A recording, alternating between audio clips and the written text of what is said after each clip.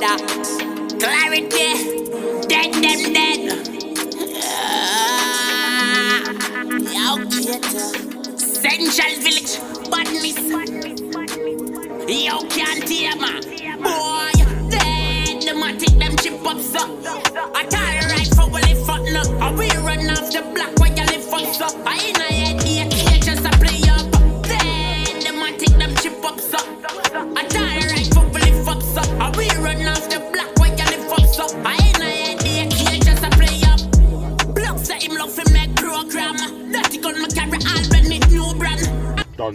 9-5, my brother right here with me, yeah. So it's family, you know what time it is, yeah. Mm-hmm. And man's got to speak about that 6-7 ex-gang member, you know, that Clark dropped the U and that. I'm not even gonna lie, you know, like, this one is kind of personal to man, car.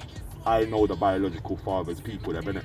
Yeah, so, for first and foremost, yeah, how the fuck is the girl gonna go and drop a youth? You understand? With some next random man that ain't even the fucking dad in the yard. I'm telling man already, these sort of things going on, you know, we're gonna get justice for this. That's what I'm saying, we need justice.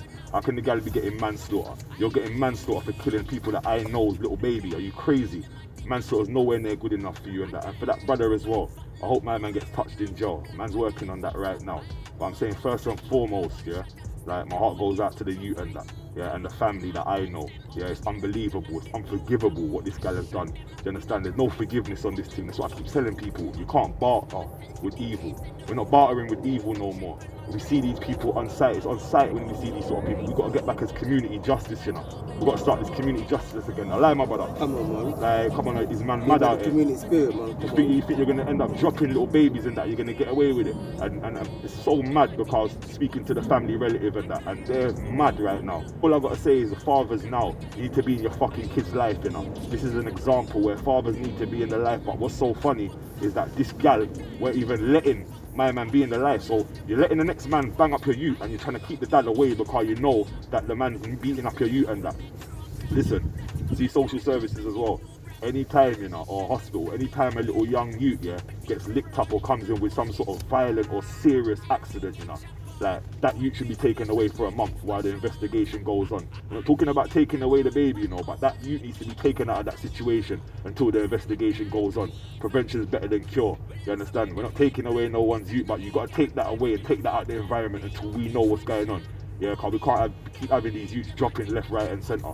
And with the government's not, the government, yeah, the people that let that go on should be in jail as well. Yeah, the people that miss that, if you miss a, a, a youth's care, yeah, and attention when that youth needs it the most, yeah, you should be in jail as well. You understand? Simple. It is what it is. But as I said, this one there is personal. Yeah, and I'm gonna get back on a part two one. Yeah, 'cause I've got a bit more information on what's going on with this X67 gang member or whatever. You get me? The real father's side. 'Cause I think the real father has to speak his side and say what's really going on. I got that in part two. The father's going to coincide with me and we're going to speak about this thing and try and show other fathers what they need to be doing in their kids' life to prevent these sort of things happening. And as what I said, a lot of fathers, as me and my brother know, don't really get their side across. You get me? So we've got to start putting the father's side across now. You understand? How about that? Man lost his youth to another man. And at the same time, you know, she's had a youth with this next man, the killer. So imagine that. You drop my youth, made my youth drop and replace my youth with his youth. Are you mad? And you think that we, we want justice now, you know? We want more prison time for her. When she comes out, we want justice. On his thing, when he comes out, we want justice. We don't care. Justice for that little youth Tyrell, man. You done know, R.I.P. I see an incident where a rascal mum must have went to school to fight a, a rascal young kid. Yeah, and this is what I'm saying. Parents are getting drawn out now by unruly kids. Like, how can how can it ever got to a time where kids ain't even listening to parents? Any little thing, kids just want to be defiant now. Defiant, defiant. When I'm looking at the thing, I'm saying, raw. Why's the kid so rude and that? Yeah, and mum's actually come to address you and come to speak to you, and you're moving rude like, like ain't you got no manners? Ain't your mum taught you nothing? This will make a mum lick at you, you know. You gotta understand, look, it's not right, you know. No parent should be going down. Let's make this clear. No parent should be going down to lick any you. You understand?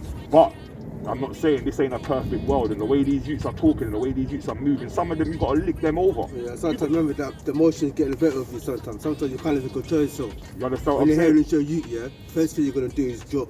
You get me? You're gonna draw for blood when anyone touches your youth. That's what happens to anyone. But what I'm trying to say is, emotionally, we're letting little kids draw us out because they ain't got order in their household. Because they ain't got order where they live now, and you've got order. You've come now expecting order, and then the youths railing up their mouth to you. These youths are mad.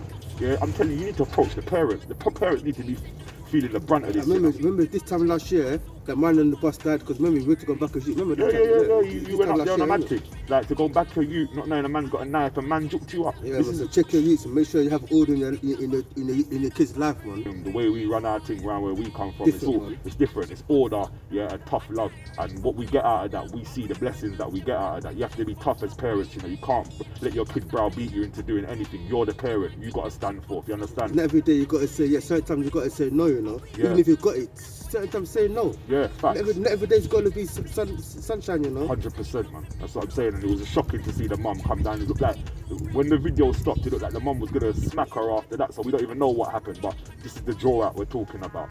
Yeah, we need to get the parents together and hold the parents accountable for these sort of movements. A young little girl, the cheek of it, a young little 30, 40 year old girl talking to a big woman like that. Ain't got, you know what I mean? Want to bully their kid, but then when you come as a parent now, you want to move like that. I'm telling you, these kids are gonna have to get order one way or the other. That's You know, man. they're not gonna like it, but the order's gonna come one way or the other. One way or another, we're gonna bring we're gonna bring her back. Trust We're gonna bring back that order, man. You done know all the real G's. We're all linking up as well. On a side note, thing. What you think this ain't going on? All the real G's are linking up on the back note. You know, not everything we need to put on the fucking camera. You know, we're linking up and we're doing our thing. So when this army, when this army's ready, the man then will see what's going on. That's all I'm about. I'm about this man seeing what we're doing and pushing this real order. Fuck anyone else who don't want the order. That's when the man them's lost. You know, when you make your youth defiant against you, you know, you've lost. You know, as a parent, you know, your youth can never be defiant against you.